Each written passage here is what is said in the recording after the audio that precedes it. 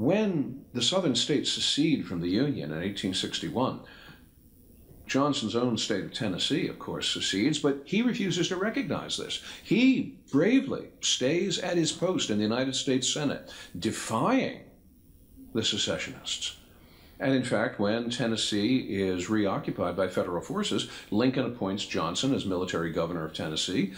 And Johnson's service as military governor of Tennessee is, is really one of the few successes along that line that Lincoln can boast.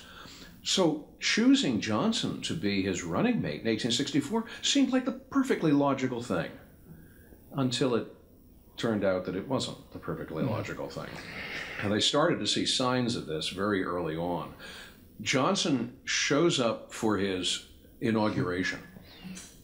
Well, first of all, he wrote to Lincoln and said, Do I really have to come for the inauguration? That, that really was not the question he wanted to be asking. Um, of course, he was told, "No, you, you have to you have to be here." So there he is, the fourth of March, 1865, and he shows up, and he has a cold, bronchitis, perhaps. He has been self-medicating himself with whiskey.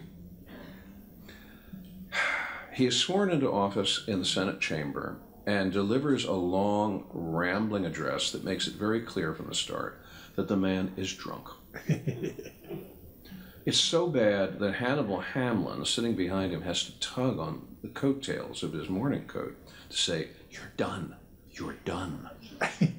Going out on the, onto the portico of the Capitol to be sworn in himself, Lincoln says to the Master of Ceremonies, Don't let Johnson speak outside.